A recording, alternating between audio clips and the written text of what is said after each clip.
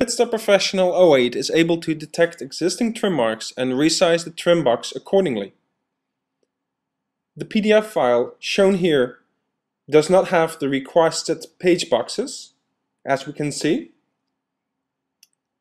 So let's set up a global change through the Window, Show Enfocus Global Change menu.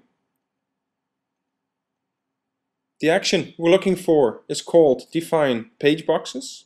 So we select that. Then we select the trim box from the list. We enable it by going to Define Trim Box. And then we grab the size and we detect the trim mark. So grab from current page trim box by detection.